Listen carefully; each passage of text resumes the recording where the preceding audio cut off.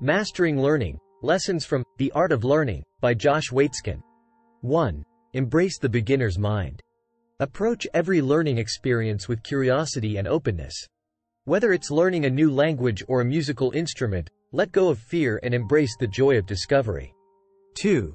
Cultivate deep focus. Deep focus enhances your learning capabilities and propels you towards mastery. 3. Learn from adversity.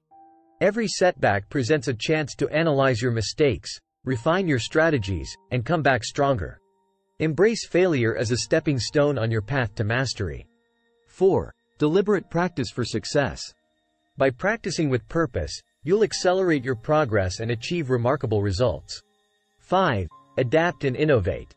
Explore different problem-solving techniques, create connections between disciplines, and unlock your creative potential.